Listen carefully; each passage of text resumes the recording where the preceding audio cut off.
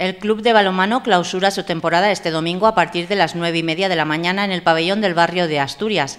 Así lo han presentado el presidente del club, Lisardo Fernández, el entrenador Ramón Rosillo, Agustín Rosell, miembro de la Junta Directiva del club, y el concejal de deportes Joaquín Planelles, que ha querido invitar a toda la ciudadanía a participar en este evento.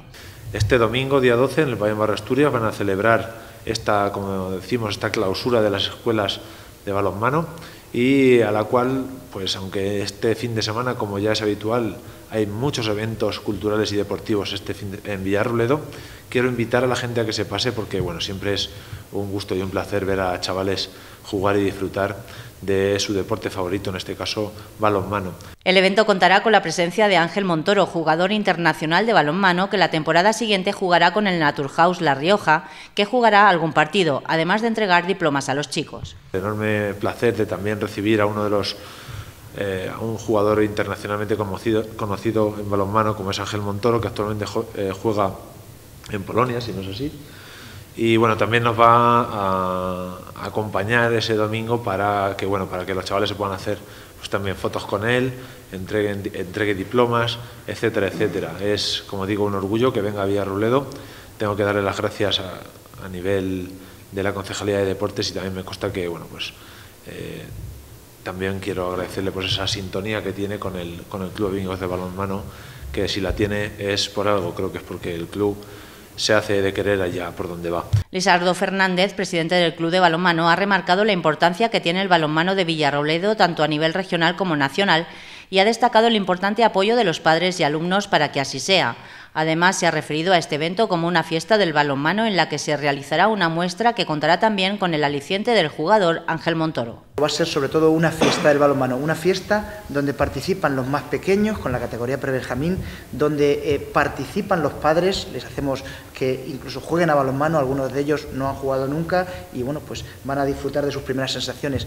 Y este año con el gran aliciente de traer un modelo, un modelo como es el jugador internacional Ángel Montoro. Ángel Montoro ha sido campeón del mundo con España en el 2013 y eh, le une una relación de amistad con algunos jugadores y exjugadores del club.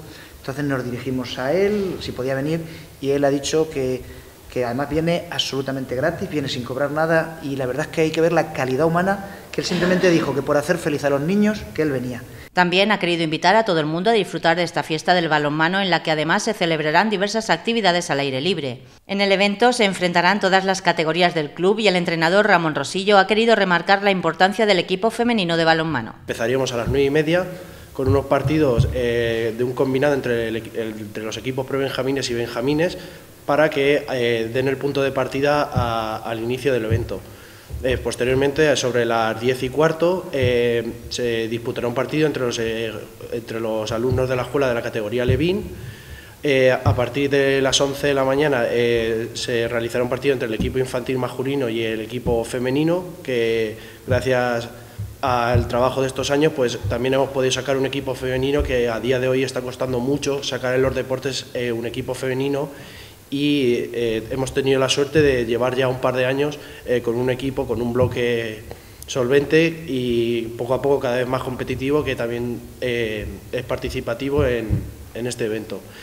Y posteriormente sobre las 12 menos cuarto, 12 horas, eh, será el partido del equipo cadete masculino y juvenil masculino contra los padres y monitores que hemos estado este año en la escuela eh, ayudando y llevando a cabo toda todo la planificación del año con los alumnos. La entrega de premios será a partir de la una y en ella se hará entrega de las equipaciones fin de escuela y además de los trofeos que según el entrenador cada año son mejores gracias a los patrocinadores y el apoyo de las instituciones. A partir de la una eh, haremos la entrega de, diplomas, de medallas para los alumnos y las equipaciones fin de escuela, que gracias a, las contribuciones de todo este año, pues también aumentamos la calidad de, los premios que damos a final de temporada, gracias a, pues a todos los colaboradores, al ayuntamiento, a la diputación y, y como siempre a los medios de comunicación que nos dan, que nos dan este, esta difusión a todo lo que realizamos. Para finalizar, a las 2 del mediodía se celebrará un pequeño aperitivo para todos los asistentes. El presidente del club quiso realizar una valoración de la temporada de la que se encuentra muy satisfecho en cuanto a calidad deportiva como educativa, ya que el club, compuesto por 80 alumnos, cuenta con entrenadores titulados, lo que se resume en mejores resultados. Estamos tremendamente satisfechos. Uno de los objetivos que nos marcábamos era darle calidad a la escuela y no solo calidad deportiva, sino calidad educativa. Entonces eh, recurríamos, pues eh, tanto Ramón como yo, como una serie de entrenadores, todos titulados. Esto nos ha permitido coger nivel, los torneos últimos que estamos disputando, los chicos cada vez hacen mejores resultados. En el torneo internacional de eh, Bolaños hicieron un tercer puesto Segundo. Segundo. sus campeones.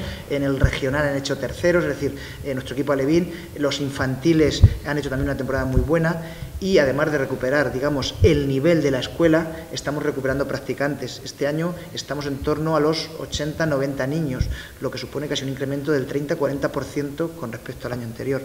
El objetivo del club, por supuesto, es pues seguir creciendo, pero sobre todo eso, que el balonmano y que la formación de los niños es una formación integral. En cuanto a la categoría senior, que ha jugado este año en Segunda División Nacional y baja a la categoría B, el entrenador ha lamentado las horas bajas en las que se encuentra, además con mala suerte en los resultados.